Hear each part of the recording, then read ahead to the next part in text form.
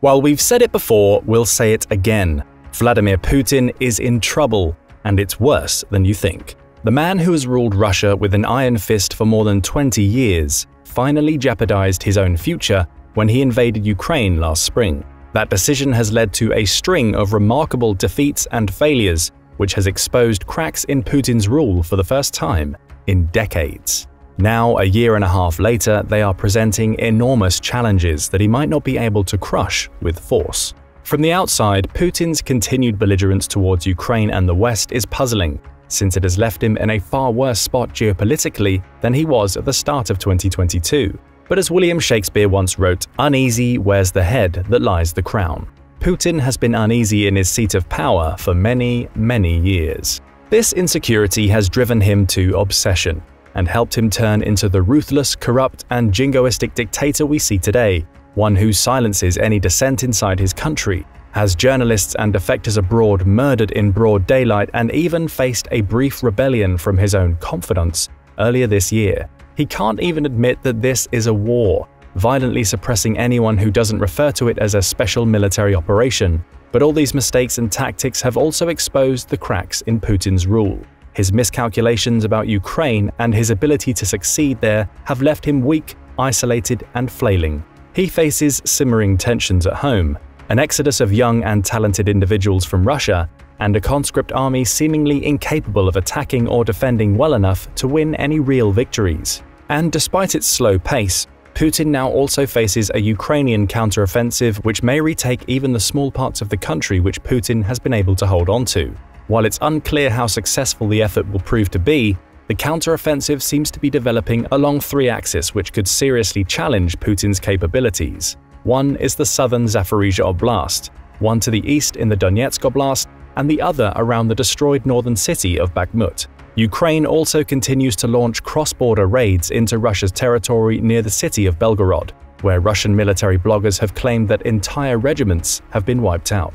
From all these sources and more, it's clear that Putin faces numerous challenges to his future and possibly his life. It's also clear that he cannot afford to admit that he's screwed up, as his efforts to crush dissent and keep the Russian people on his side have been intense. And yet, even Putin has had to admit in recent weeks that the war he and his yes men launched is going poorly.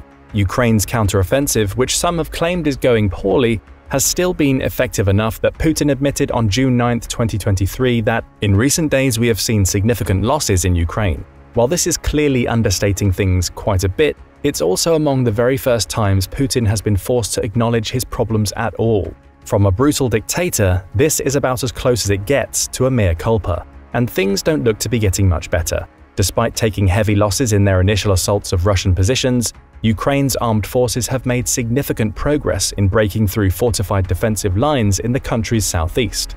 Specifically, the most notable gains have been south of the Dnipro River, which divides the half-liberated city of Kherson. Russian military bloggers reported that up to seven boats, each carrying six to seven people, had landed near the village of Kazachi Laheri, east of Kherson City, on Tuesday, and broke through Russian defensive lines. It was claimed that the Ukrainian soldiers had advanced up to 800 meters after getting to the riverbank, though it appeared Russian forces had some success in fighting them back. The Russian-imposed head of the occupied part of the Kherson Oblast, Vladimir Saldo, claimed the Ukrainian raid had been repelled. However, the Institute for the Study of War, ISW, a think tank in Washington which closely tracks the conflict, said that it appeared that the limited raid may have had more success than Saldo had acknowledged, ISW wrote in a recent update that the majority of prominent Russian military bloggers claimed that Ukrainian forces managed to utilize tactical surprise and land on the East Bank before engaging Russian forces in small arms exchanges, and Saldo was likely purposefully trying to refute claims of Ukrainian presence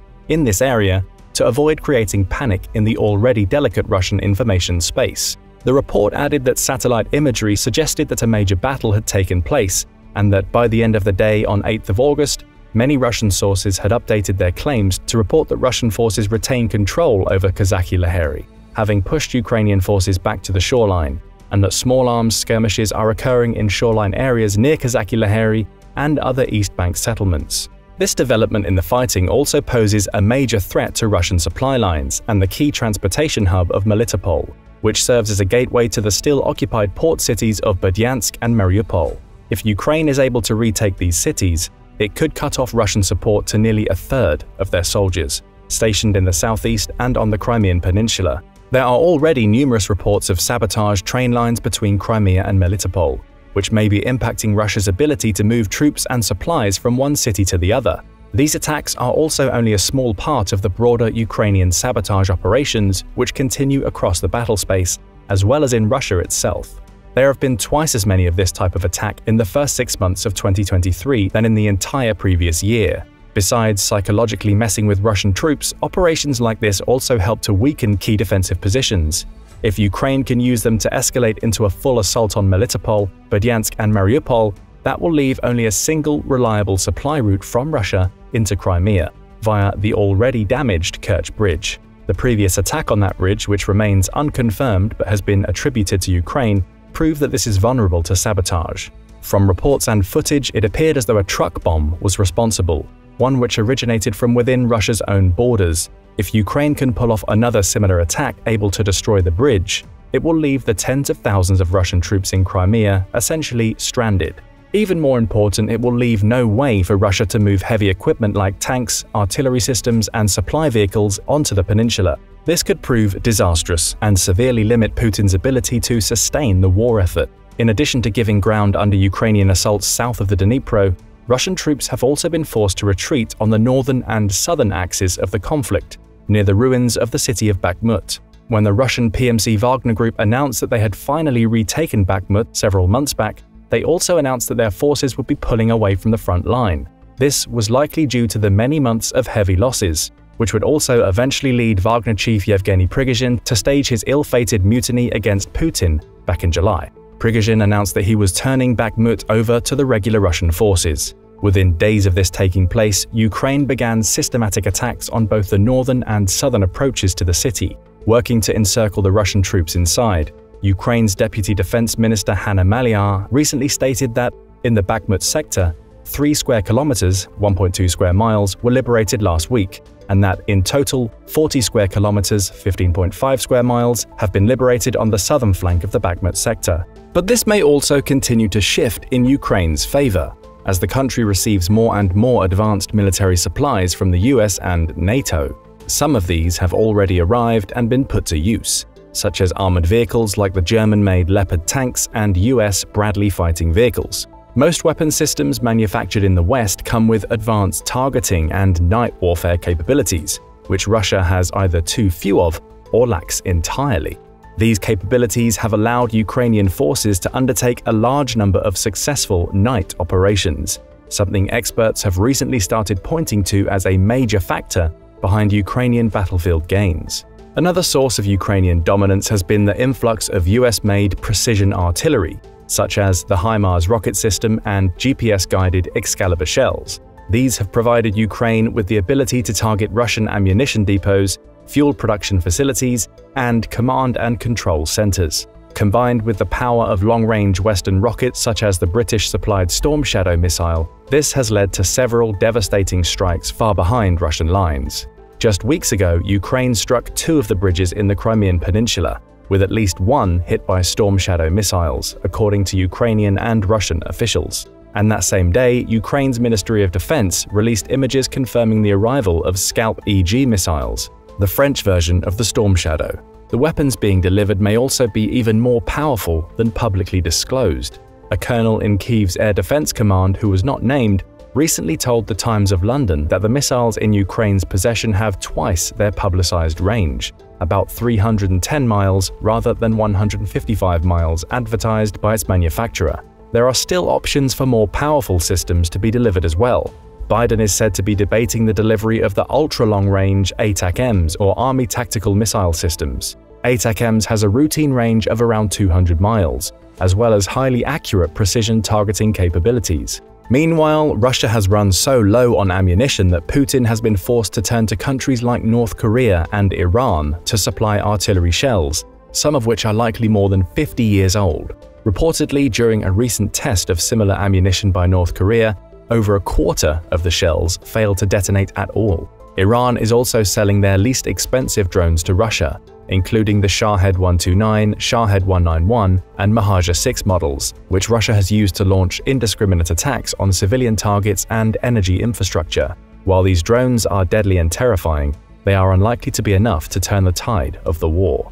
With new Russian weaknesses being exposed every week, Putin also increasingly runs the risk of his top generals turning on him, or ordinary Russians rising up over the staggering losses and failure to achieve any real gains. The frustration over the war is becoming more and more noticeable, even among the tightly censored and controlled Russian media. Igor Strelkov is a former Russian intelligence officer who has boasted that he pulled the war's trigger by leading Russia's 2014 annexation of Crimea and of ordering the torture and execution of pro-Ukrainian officials, police officers, and war prisoners in Donetsk. Until recently, Strelkov was a rising star in the world of pro-war Russian Telegram bloggers, but after Prigozhin's mutiny, Strelkov posted, among other insults, that for 23 years at the helm of Russia was a nobody who could fool most Russians. Three days later, he was arrested by Putin's security forces. The discontent has even spread to members of the Duma, Putin's hand-picked group of cronies who form the Russian legislature.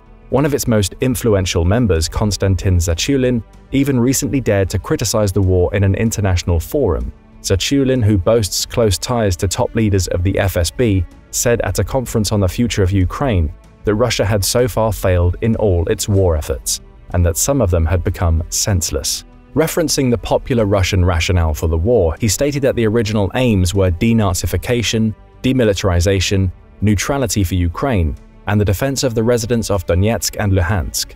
On which of these points have we reached results today? Not one combined with Prigozhin's well-publicized mutiny and flight to Belarus, episodes like this show a Putin who is beginning to lose his grip on the levers of power. In a recent analysis, Tatiana Stanovaya, senior fellow at the Carnegie Russia Eurasia Center, said Prigozhin had effectively chipped away at Putin's power vertical, or ability to rule effectively from the top down. Because of this, she argues, turmoil from the war is now producing dozens of mini Prigozhins, who are not as smart as the caterer-turned mercenary but have become sure in recent months that post-Putin Russia is already here, even as Putin remains in charge. Putin also faces new international challenges to his authority and possibly freedom. Since even before February 2022, there have been numerous reports of the systematic abduction and relocation of children from the occupied areas of Ukraine. In March of 2023, this led to an arrest warrant for Putin being issued by the International Criminal Court, on charges for war crimes. While not an immediate threat, these are further isolating him internationally, putting even his trips to non-aligned countries into jeopardy. For instance, in August, South Africa is hosting a summit for a meeting of the BRICS Group, a loose alliance of Brazil, Russia, India, China, and South Africa. But the month before, South Africa's government stated that Putin would not be attending the summit, and that Foreign Minister Sergei Lavrov would attend instead. This was largely due to concerns over whether they would have to act on the international arrest warrant due to building public pressure. Developments like this isolate Putin even further, limiting the amount of places he can travel on state business and undermining his legitimacy as leader of Russia. And allegations of mass kidnapping are just the tip of the iceberg as far as war crimes are concerned. The Russian armed forces under direct control of Putin and his generals have been responsible for thousands of acts of torture and murder throughout the war and occupation of Ukraine. For instance, in the town of Bucha, on the outskirts of Kiev, over 450 civilians were executed with hands tied behind their back and dumped in the streets. An inquiry by Radio Free Europe also discovered the use of a basement beneath a campground as a torture chamber. Many bodies were found mutilated and burnt, while girls as young as 14 reported being raped by Russian soldiers. This is just one massacre among hundreds, many of which are also being investigated by the International Criminal Court. Additionally, the US is currently hosting Ukrainian prosecutors to help them prepare to prosecute such acts. Ultimately, all of the horrifying violence can be laid at Putin's feet. This isn't just guesswork either. He's made it publicly clear, such as by giving medals to the unit responsible for carrying out the murders and other atrocities at Bucha. He has also received charges of ecocide for the destruction of the enormous Nova Kakhovka Dam, while Putin called the move barbaric and denied Russian involvement. But investigations have all concluded that Russia was responsible, as it controlled the dam before its destruction. while experts have concluded that the breach was caused by an internal explosion of hundreds of pounds of explosives. The dam was designed by the Soviets to withstand a nuclear attack, making it highly unlikely that any missile could have caused the damage it sustained. The dam's destruction is yet another terrible crime for which Putin is to blame. The event also suggests several more implications of his growing desperation. For example, more than 80% of the drinking and agricultural water in Crimea came straight from the lake that the dam controlled via canal. Putin's likely destruction of the dam may signal that he is aware he could lose control over Crimea at some point in the coming months, and is unwilling to let Ukraine have it either. By some estimates, it may take more than a decade for previous levels of drinking water to return to the peninsula. This is the move of a desperate tyrant, lashing out at enemies and lacking the long-term thinking necessary to hold on to power securely. Another factor, often discussed but still crucial, is the damage that Putin has done to Russia's economy and diplomatic presence around the world. Take oil. Russia has been one of the world's top three oil producers for decades, behind only the United States and Saudi Arabia. But the harsh sanctions, price caps, and export controls imposed by the US and Europe after the invasion have hit Russia's oil sector hard. This is despite Russia offering a massive $20 per barrel discount in the cost of its crude oil exports, in the hopes of using new buyers like India and China to replace EU members who have largely stopped buying. But that discount, combined with lower volume of sales, means a shortfall of over $65 billion per year. That's not to mention other price declines from the pre-invasion oil market. All things considered, Russia is likely to see a 2023 decline in oil and gas revenue of over $180 billion. A drop of this magnitude is likely to hit ordinary Russians, and possibly even the oligarchs, quite hard. The expenses of the invasion are also hitting the Russian economy more directly now. Putin recently imposed an extra 5% tax on extra profit made by Russian businesses, something which is basically determined by his cronies in the finance ministry. Another area Russia's economy has been hit hard is in its global military sales. Back in 2011, Russia nearly matched the US in volume of global arms sales. But as the country has become more isolated due to warmongering and its equipment has been shown ineffective, exports have plummeted more than 70%, with 2023 sales to only 12 countries. Western sanctions have also destroyed Russia's ability to obtain advanced computer chips for its modern military equipment, throwing doubt on whether it will be able to produce such systems for more than another year. That's not even getting into the enormous destruction of tanks, artillery, planes, and over 250,000 soldiers. All of this suggests one thing Putin messed up badly. His war of imperialism has now turned into a series of self-inflicted wounds, which have brought Russia to its lowest point in decades, economically, militarily, and politically. With two new countries joining NATO and Ukraine's membership on the horizon, every aim of the war has become an abject failure. It seems likely that sooner, rather than later, these mistakes will eventually catch up to Putin and be his undoing. But what do you think? Will Putin's war end up pushing him from power let us know your thoughts in the comments below. And don't forget to subscribe for more military content and analysis.